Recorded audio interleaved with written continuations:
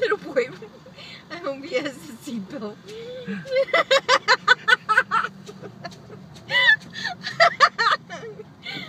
no comment. Poor